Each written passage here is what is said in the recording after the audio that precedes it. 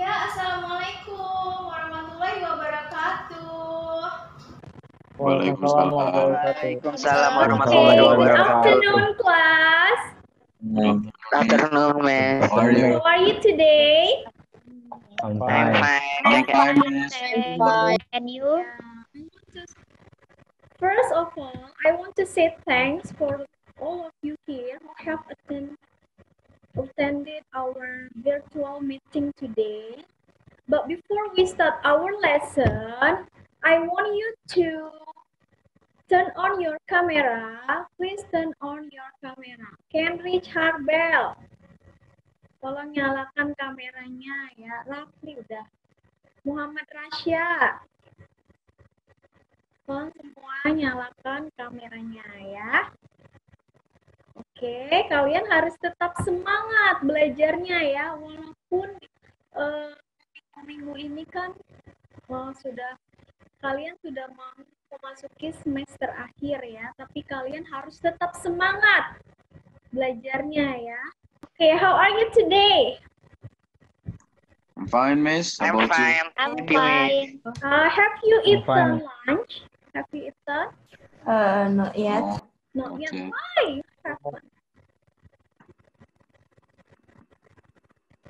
Why you haven't eaten? I give you.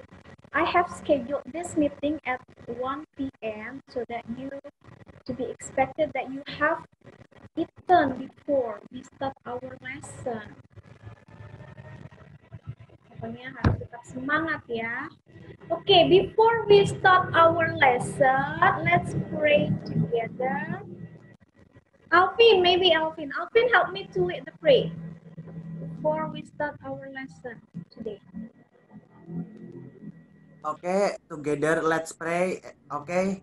Uh, okay, all let's pray together. Pray begin.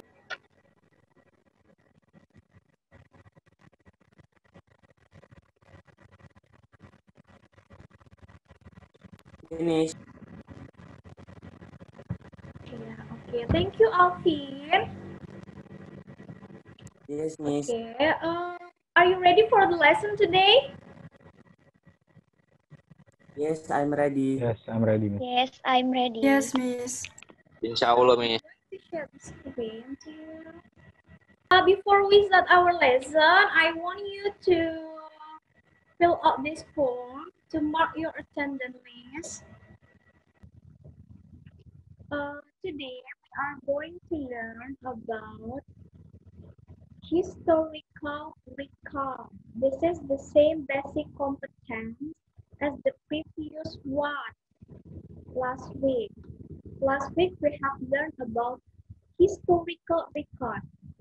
Today we are still going to learn about historical record, but it is more deeper explanation than, than the previous one.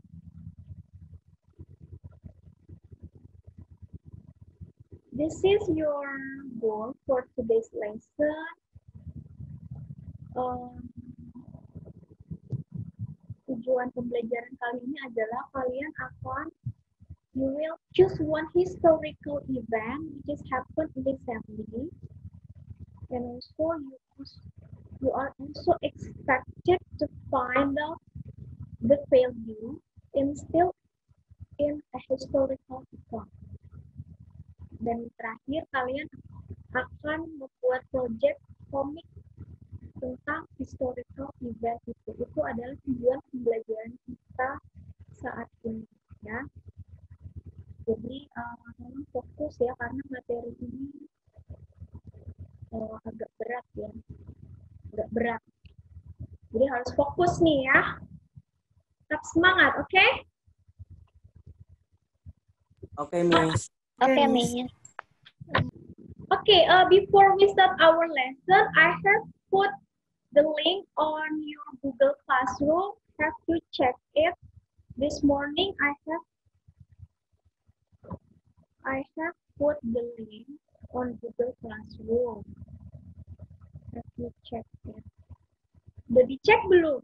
Quiznya yang di Google Classroom itu. Sudah, Miss.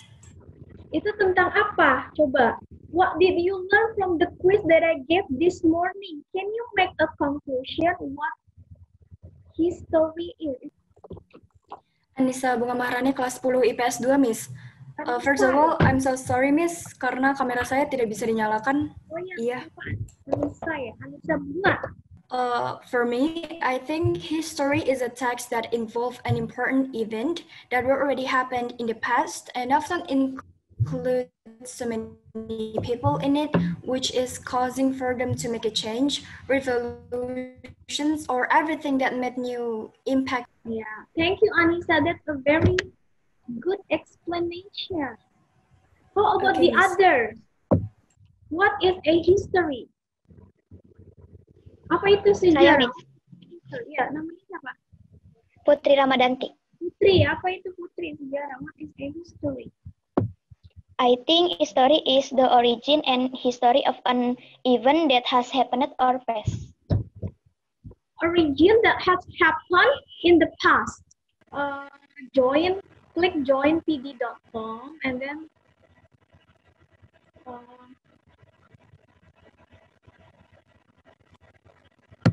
Okay, please uh, click on the link that I have put on the chat.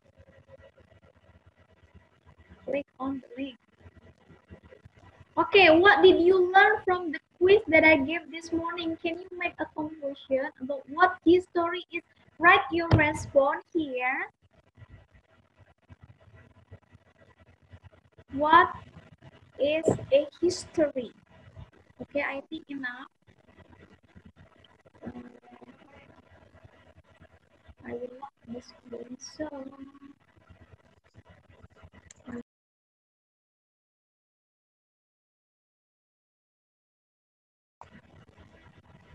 Okay, uh, there are. Can you see the screen? Anissa Bunga. From Anissa Bunga, uh, 10 IPS 2, 10 IS 2. Thing that I learned today, history is a text that involves an important event. Coba, uh, please Anissa, can you help me to explain your answer here? What do you mean by important event? What I mean, important event in this context is that type of event that includes so many people and giving a big effect for so many people too. So it's something, it's some events that, what is it? Um, that important giving so many effect to the people, so so many people. So the keyword is uh, history is something that give important event to that give important effect to other people. That's your point, right, Anissa? Yes, miss. Because Because yeah, because history is a thing that making something like yeah, yeah. yeah, yeah. That's a very good answer, Anissa. Nah, ini this one. Swan, who is Swan? Enggak ada namanya ya. I, oh ini Aishi. Aishi. History is the study of past event, especially for the people, event, society, and problem in the past. You say information past event ya. Jadi uh, most of you here, history is study of the past. The past event. History is the study of ini siapa nih jawabannya? Siapa nih Panda? History is the study of study of life in society in the past. In the past, the study of society in the past. In a simple, history is the study of the past. Okay, thank you for your answer.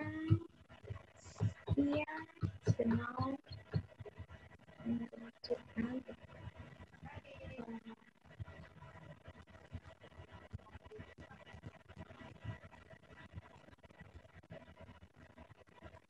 How about this one?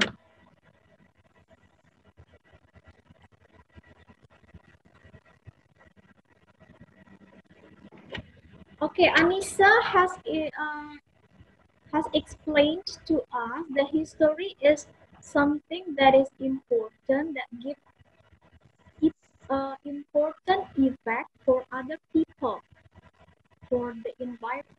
Saya Miss Indikasi, ya. Yeah? Okay, some of you explain that history is something that happened in the past, sesuatu yang terjadi di masa lampau ya. Nah, kalau maaf ya loadingnya ya. Oke, okay, how about this one? Coba kelihatan nggak linknya? Share share-nya kelihatan nggak? Kelihatan, Miss. Okay, which Kelihatan, one Miss. is which one is a history? The story of your mother when she delivered you in this world. Is it a history or or not? Iya. No. of course. No. Ya, tadi siapa yang jawab ya? Hussein Kurnia, Bu. Hussein, why is it a history? Uh, uh, because uh, is that a history? Because Because my English is bad, Miss. ya nggak apa-apa, nggak apa-apa, it's okay. Uh, because uh, it's a history to, to my mother. History when to uh, the process, uh, the process uh, process, with the pregnant, pregnant, uh, and then uh, apa namanya, uh, ngidamnya. yeah, this is a history for your mother, for your parent, and also, of course Yeah. for you. But how about the other? Is it a history? Is it important for other people? Is it Oh, it's not. does it give impact for the environment? The story Yeah. of your mother when she delivered you in this world? Yes. Does it give impact to the environment, to the society? Yes, but not for uh, other people. To who does it give impact? Yeah. Coba yang lainnya. Okay, the second example, the story of Prophet Muhammad when she was when he was born. Is it a history or or not? The story Yes. of Jesus when he was born. The story of Siddhartha Gautama when he was born. Ini kan contoh-contoh ini kan kelahiran semua ya. Kelahiran kelahiran kalian ke dunia ini. Kelahiran Nabi Muhammad. Nah, sekarang kan kita membahas apa sih sejarah itu. Nah, tadi kata Hussein, sejarah. Yang nomor satu ini sejarah. Kenapa Hussein? Karena apa? Because the process uh, because uh, it was uh, why we apa uh, came to this world Okay, how about the other? Do you agree with Hussein's statement? Hussein. Yes, Miss, setuju karena tidak terulang lagi dan itu hanya terjadi satu kali se seumur hidup. Jadi Ya, sejarah itu apa? Oh, kalau sejarah itu apa sih? Uh, Miss, Miss, I wanted to say something, Miss. Iya, ya, Anissa, ya. Uh, it could be true. Maybe it's a history, but but for me, I think that sounds more like a recount text. Recount text, yeah. What? Okay, let's take a look at the second example, the story of Prophet Muhammad when he was born. Do you know the story of Prophet Muhammad when he was born? When Prophet Muhammad was born, there were troops who wanted to destroy the Kaaba. Is it a history or not? Yes. Why? yeah Why? Um, because uh, the story of the Prophet Muhammad was born has many um impact for everyone in Has the many world. impact for everyone, ya. Yes. Tadi siapa namanya? a lot people Um, Salma Trisi from um IPS 2. 10 IPS 2. How about the third the third example here, the story of Jesus when he was born? It's Yes, also a history Father. The history, why? because it's also had many impact on um everyone who was like Christian on Yeah. yeah it had impact. Okay, how about the, the fourth question, the fourth example here, the story of Siddhartha Gautama he was Do you know the, the story of Siddhartha Gautama? Um, I'm not quite familiar with the story, ma'am. Yeah. Maybe uh, the other. Do you know the story of Siddhartha Gautama? Siddhartha Gautama was a born rich. He was the, the he was the son of a king, so he was very rich. Her, his parents could afford him anything that he wanted, so that he he couldn't feel the struggle like ordinary people. So that's why he wanted to he wanted to feel the same like other people. That's why he meditate uh, in under the tree called Bodhi. That's why his follower later on become Buddha. That's the story of Siddhartha Gautama.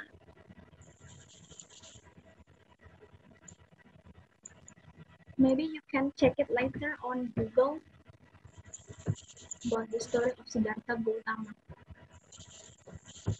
The Yoke Pledge. Is it a history or not? The Yoke Yes. Pledge. Yes, Miss. Why? Because it includes so many people and it was pretty iconic because people nowadays still remember that event. And the Youth Pledge was also not only include so many people, but also giving a big impact to our country's Indonesia.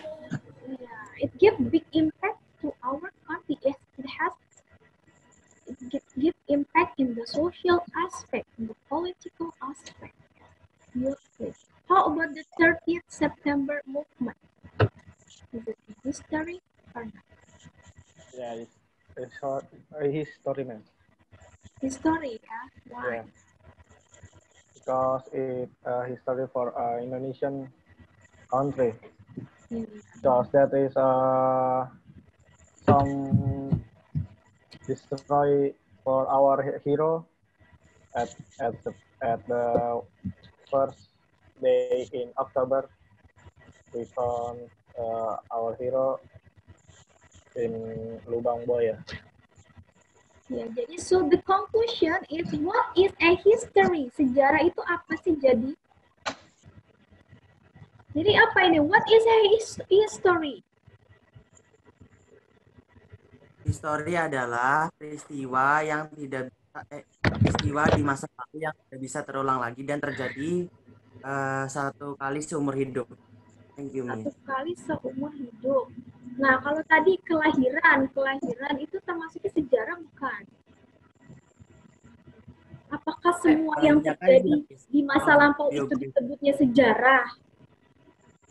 I personally think it sounds more like a biography, Miss. Iya, it's a biography, it's a recount. So, um, jadi sejarah itu adalah conclusionnya apa? Based on the case, some cases that I have put, that I have mentioned, what is a history? Anissa, jadi apa kesimpulannya history? Jadi kesimpulannya, uh, history is a text that involve an important event that were that was already happened in the past, and often includes so many people in it, which is causing for them to make a change, revolutions, or everything that made new impact for the future. Intinya, uh, history itu kejadian penting yang terjadi di masa lalu dan memberi dampak bagi banyak orang dan membuat sesuatu yang baru di masa depan, Miss. Nah, itu itu namanya sejarah ya, benar. Jadi sesuatu yang terjadi di masa lampau itu bukan termasuk sejarah, ya. walaupun sama-sama kelahiran tadi ya. Tapi kan eh, tidak semuanya itu memberikan dampak yang besar. Nah, jadi sejarah itu, history is something that happened in the past that it influence to the society, the cultural, political, economic, history. Itu namanya sejarah. Oh, yang tadi mungkin itu disebutnya apa Anissa yang tadi kelahiran itu? The story of your when she, delivered you. Itu namanya apa? Kalau yang pertama, uh, I personally think it's a recount text, Miss. Recount text. Yeah, what is a recount text? Recount text is a text that tells a past event, menceritakan kejadian yang lampau, Miss. Nah, iya bagus ya. Jadi bedanya dengan historical recount juga termasuknya masih ke dalam history. Jadi itu namanya recount. Oke, okay. recount is a text that retell past event in a chronological order. Retelling the past event menceritakan kejadian-kejadian di masa lampau itu namanya recount. Okay, there are three types of recount text. The first one is personal recount. What can you mention the example of personal recount? Contohnya apa personal recount?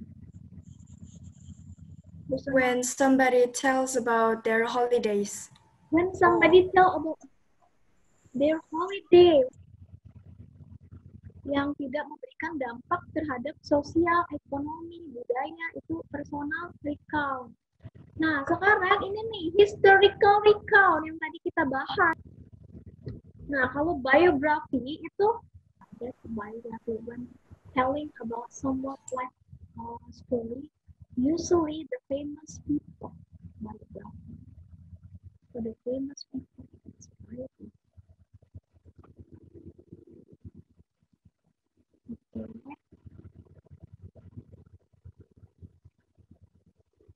Jadi itu ya sejarah itu adalah uh, something that happened in the past. Nah, sekarang um, something that happened in the past. Nah, what what do you mean past? Past itu apa sih artinya? Past. What is past? Past event. Tadi kan uh, sejarah itu history is something that happened in the past. Oke, jadi uh, simple past itu apa? Pak? History itu kan tadi kita bahas history is something that happened in the past. What do you mean past? Past itu artinya apa sih? Sesuatu yang lampau.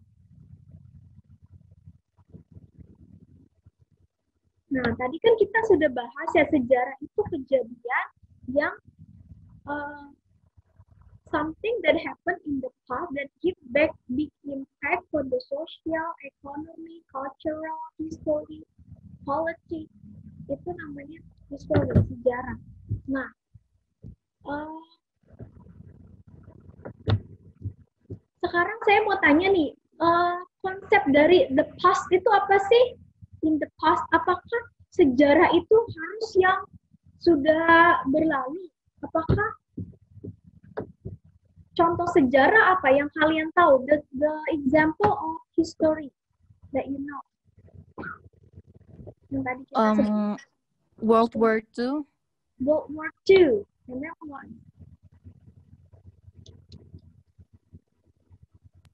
Proklamasi. Hah? Proklamasi, Miss.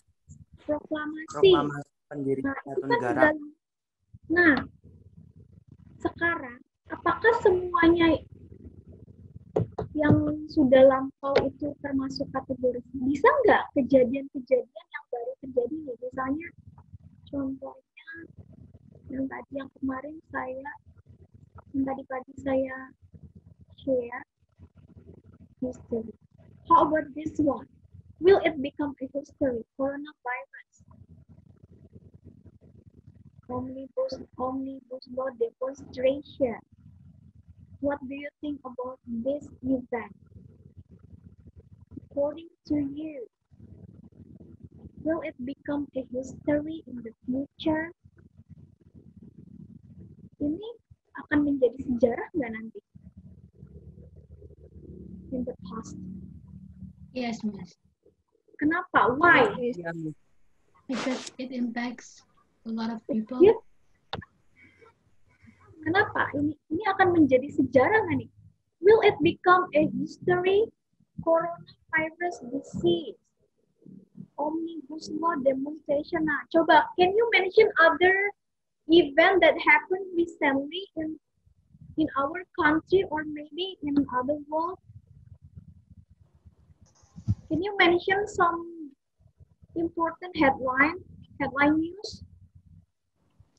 Oh, miss that um that news that going on in Papua, which the forest had been burned down by a Korean company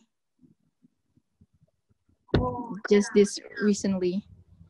Okay, according to you, will it become a history? Um, I think um, if it's a history, but it's uh, mainly just a history for Indonesian people. For uh, um, it's not really a history for like a worldwide history. Yeah, What's your name? Salma. Trisi. Um, kelas 10 IPS Dua. 10 IPS 2. Nah, jadi eh, yang mau saya tekankan di sini adalah history. History itu kan something that happened in the past. Nah, konsep dari past itu past itu apa sih artinya? Dari past itu simple. Past itu kalau dalam bahasa nih kalau bahasa Inggris artinya apa? Simple past itu. Simple Masa lalu, lampau. masa lalu ya. Masa lampau. Nah masa lalu itu maksudnya apa? Apakah zaman dulu? Apakah pada zaman purbakala zaman Setiap Kalau detik tadi yang sudah pagi- berlalu dan terjadi, Miss. iya kalau tadi siang nih kak termasuk simple past bukan? Simple Iya. past Iya, kan? Kamu bilang "Hmm, this morning I eat banana. This morning I went to school. Nah itu kan simple past tuh. sesuatu yang mau terjadi yang saya mau saya tekankan di sini adalah lampau di sini. Maksudnya adalah bukan hanya kalau dalam bahasa ya kalau bahasa Inggris itu kan eh, yang sudah terjadi lampau itu paham nggak maksudnya jadi sejarah itu kan sesuatu yang terjadi in the past. Sesuatu yang terjadi di masa lampau. Nah, minggu lalu kita sudah mempelajari contoh-contoh sejarah historical reform such as Battle of Surabaya, what are the place. Nah, itu kan sesuatu yang terjadi sudah lampau. Nah, coba sekarang kalian pikirkan satu kejadian yang yang menimbulkan dampak. Tadi kan yang sudah dibilang Anissa tadi, sejarah adalah something that happened in the past that give impact for other people, for many people that that that give impact for the social aspect, politics, economy, that's the history. Jadi maksud saya adalah coba kamu pikirkan satu kejadian ya yang satu kejadian yang memberikan dampak bagi ekonomi, sosial, politik. Jadi kalian kalau belajar sejarah itu bukan cuma masa lalu zaman dulu aja, tapi lihat keadaan saat ini. Paham nggak maksud saya? Karena itu juga nanti suatu saat akan menjadi sejarah. Seperti itu ya. Nah, sekarang saya mau kalian, kita fokusnya adalah historical event itu kejadian yang baru-baru ini, yang baru-baru ini terjadi. Coba kira-kira apa? After you choose an event which has happened recently and can be considered as historical record, please analyze analyze the event based on the generic structure of historical record. Generic structure. Remember, the generic structure of record is orientation, event, and then the orientation. After uh, the generic structure, decide a storyline, and the last, the last task is to make an educational comic using storyboard. Now, choosing a good historical record. What is the criteria for a good topic? Your topic must up to date, related to the current situation. And also, it has impact for the social, economic, political, cultural aspect. That is a history. Jadi harus memberikan dampak nih, dampak sosial, dampak ekonomi, politik, kultur. Itu namanya sejarah ya, peristiwa sejarah itu itu. Memberikan dampak. Kalau tidak memberikan dampak ini, itu namanya bukan sejarah. make an outline considering the generic structure. Jadi after you make, after you choose the topic, you have to make an outline, orientation, event, and then reorientation. Orientation, what, who, where, when. What happened? What event do you want to explain? Who involved in the event? Where it happened? When it happened? Yang kedua adalah event. Retelling the event in its chronological order. Reorientation. You have to write the reorientation, the moral or social value which is instilled in the event. Moral value apa sih? Apa yang bisa kita nilai apa sih yang bisa kita dapat dari? Misalnya peristiwa Sumpah Pemuda. Nah, nilai apa yang terkandung dalam Sum- Sumpah Pemuda itu? Ya. Nah, after that, what will you? In a group of four or five, make a comic about a historical recall in storyboard.com. Pertama kalian buat outline-nya dulu. Ini nomor satu outline. Choose one historical event. Kalian tulis judulnya apa? Judul event yang mau kalian. Kemudian orientation-nya, event, dan reorientation. Ini outline. Nah, yang kedua adalah storyline. Nah, kalian karena kalian membuat komik, kalau komik itu kan ada namanya tokoh ya, karakter. Minimal harus ada dua komik, ada dua tokoh. Kalian buat storyline dulu sebelum kalian buat komiknya. Ini panel satu. Kemudian alur ceritanya apa sih? Alur cerita ini dialognya ya. Misalnya dialognya antara Resa dan Resi misalnya. Resa, Resa apa? Kalian tulis dialognya di sini. Resa, Resi. Kemudian karakternya siapa aja di sini. Kemudian aset visual. Di dalam foto itu visual asetnya apa aja. Misalnya ada contohnya nih ya. Ini kelihatan nggak contohnya? Belum, Miss. Belum Miss lagi loading mungkin Miss. Kelihatan?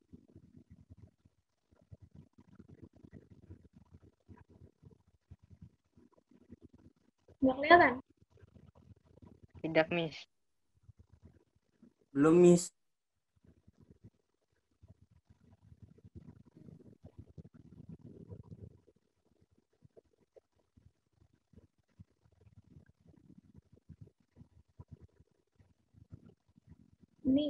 Ini contoh storyline-nya nih. Hmm.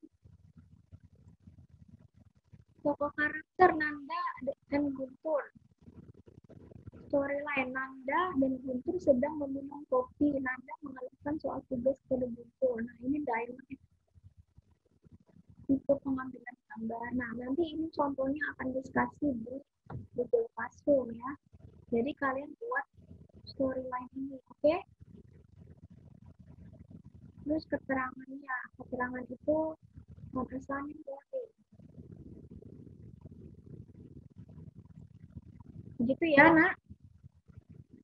Pertama buat outline, kedua buat storyline, ketiga kalian buat komik. Nah, untuk buat storyboard that komik di storyboard.com, kalian tinggal klik aja link di Google Classroom, make a comic with your group I have divided your class, your group into some group. Group 1, 10 IPS 4, group 2, 10 IPS 4. Nah, jadi kamu mengerjakannya di sini. Kalian klik start assignment. Start assignment. Nah, di sini di sini kan ada ininya ya. Tuh. Kalian tinggal drag aja gambar-gambar ini. Misalnya ini kalian mau latarnya di mana misalnya kegabungan yang bisa di sekolah ini sudah ada gambar-gambarnya ya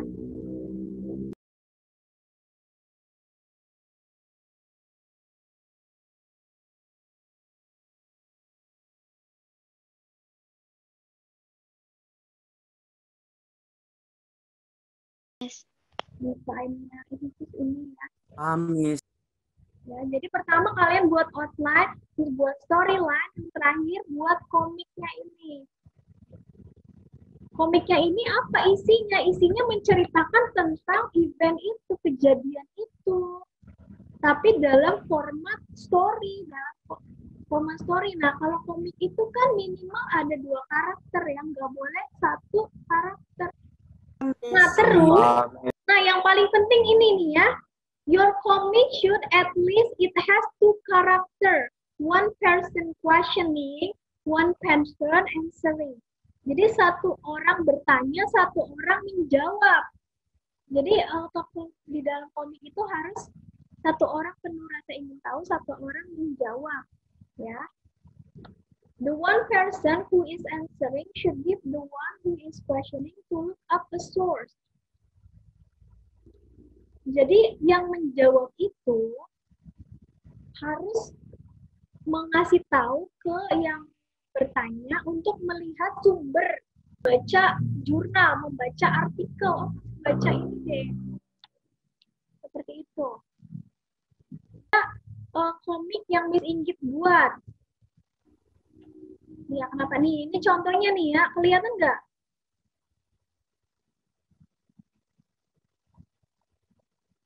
For better explanation, you can read English book for grade 10 by Kemendikbud on page 125. Nah, ini adalah contoh dari ini kan yang satu penuh rasa ingin tahu sih. Kan ada dua tokoh nih ya. I have an, what is historical recount? Nah, ini itu penuh rasa ingin tahu apa sih historical recount itu? Nah, kemudian yang satu, yang satu tokoh penuh rasa ingin tahu, yang satu tokoh menjawab. Misalnya berita boleh bukan cuma buku aja, oh baca berita di koran ini atau di jurnal ini itu lebih bagus ya. It should contain orientation, event, and reorientation in a form of sto- story in the comic. Jadi di dalam komik itu harus ada orientation-nya, event, reorientation in a form of story dalam bentuk cerita. Jadi kayak cerita aja dialog kan kalau komik itu. Sampai di sini ada pertanyaan? Miss, saya mau tanya. Iya. Itu yang dialog untuk dua karakter nanti itu memak ada hubungannya dengan yang tabel tugas pertama tadi nggak, Miss? Iya, jadi eh, ada hubungannya. Jadi pertama kalian buat storyline, storyline itu dialognya. Jadi storyline itu nanti dimunculkan di dalam komik itu ada hubungannya. Storyline itu conversationnya, dialognya. Jadi ada hubungannya. Gitu ya. Jadi pertama buat uh, outline, lalu buat storyline, and then buat comic itself ya. Paham? Jelas? Ada pertanyaan lagi? Saya rasa sudah cukup ya hari ini. Oke, kesimpulannya apa jadi hari ini? What is the conclusion of our lesson today? Mengerjakan dua tugas. Yang pertama adalah storyline di Word dan yang kedua adalah komik di storyboard. Minimal dua karakter, Miss. Ya, jadi ada tiga tugasnya outline, make outline, make storyline. storyboard. Oke, uh, I think enough for today. That's your task. If you have any question for that question, you can ask me personally on WhatsApp. I will answer it. Okay, I think enough. Let's start our lesson by saying Alhamdulillah. See you again. Assalamualaikum warahmatullahi wabarakatuh. Don't forget to do your. Waalaikumsalam warahmatullahi wabarakatuh. Thank you, Miss. Yeah, yeah, yeah. Thank you, Miss. Thank you, Miss. Thank you, Miss. Thank you, Miss. Thank you,